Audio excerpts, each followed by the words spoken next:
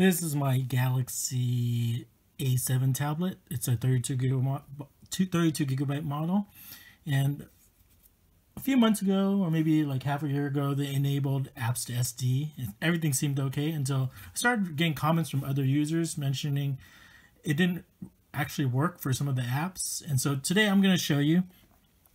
I have filled my uh, tablet with a bunch of apps and here's my SD card and I'm going to show you from 30 gigabytes after moving all the apps how much storage I have left.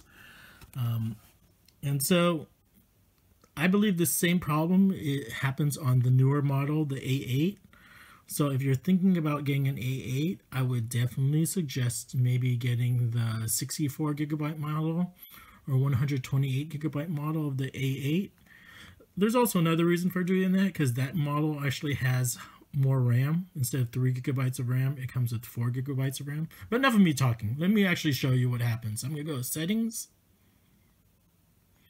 And then go to um, Apps. And the bad thing about this is I can't even just do one button click and move all my apps to SD on the Fire tablet that I have. They have a one button option to move everything to the SD card. This doesn't. I have to go through each app so I'm on Among Us right now, and I'm going to go to storage, and I'm going to change it from internal to SD card, and move. So again, I said I'm going to transfer all the apps over, and I'll show you how much I, storage I have, because I was already at at the maximum pretty much. I was at 30 gigabytes. Um, and I'll explain something more while I'm doing this. The thing is, when it transfers over, it doesn't transfer over uh, certain certain files, and so, or what I think, because I, you know, there's no way for me to know for sure, because I'm not a huge techie person. So we're still waiting for this to finish.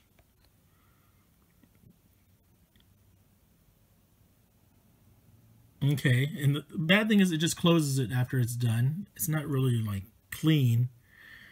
Uh, so after doing that, I'll show you again. It's still at 30 gigabytes and 3 gigabytes over here, okay? And just to make sure you can click on it. So it did increase the SD card size a little bit. So I need to do that for each and every one. So I'm going to go to apps again. This is very tedious uh, and there's no option to do it for future apps. So there's 551 megabytes, right? Let's go do that. Storage. So the one thing I want to mention is for both data and cache, those can get really big over time. I think for the Android 11 and this this Samsung A7 and possibly the A8, it won't transfer over data and cache, and those can get really big. In this case, I'm lucky, the app is the big thing over here, and I'm going to change to SD card.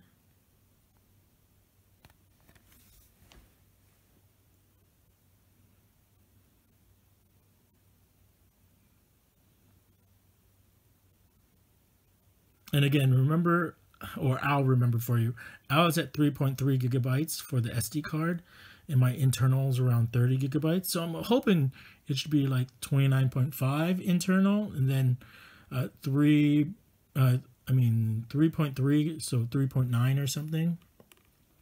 So in this case, it finished fine. It's still in the apps section.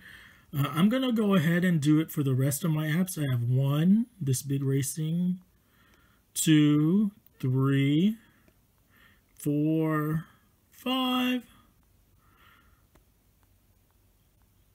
six, seven, eight, nine. Whoops, sorry.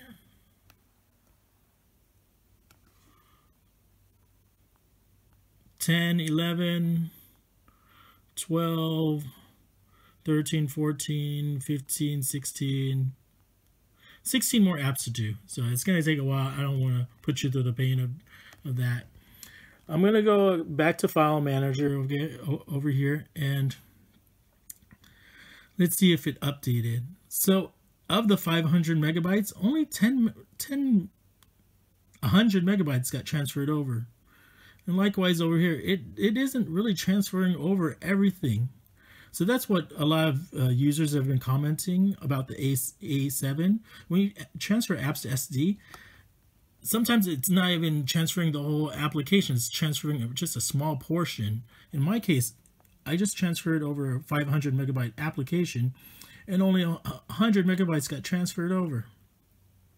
So let me finish this for you. I have 16 apps to do. I'll go do that right now. It's going to take take a while.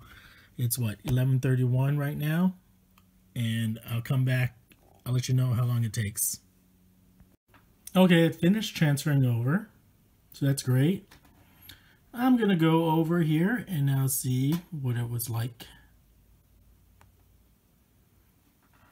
So it hasn't updated yet. I'm gonna click on it once And you can see after transferring 16 to 17 apps, it only transferred about a gigabyte. Yep. Was it a gigabyte? No, no, it didn't transfer a gigabyte. It was at 30 and it went down to 27. It transferred 3 gigabytes or 4. And over here, um, SD card was at like 3.3 or something. 3.4 now it's at 7 gigabytes. So you can see it mine was already full and after transferring all those things it only transferred a few gigabytes. 3 plus gigabytes of storage. So what's the lesson I've learned? Never buy a 32 gigabyte model and so again, if you're looking into get and getting an A7 or A8 tablet and you're going like, oh, it has an SD card, great.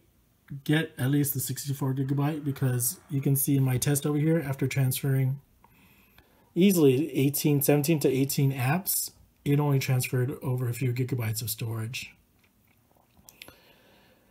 And that's what i'm gonna live by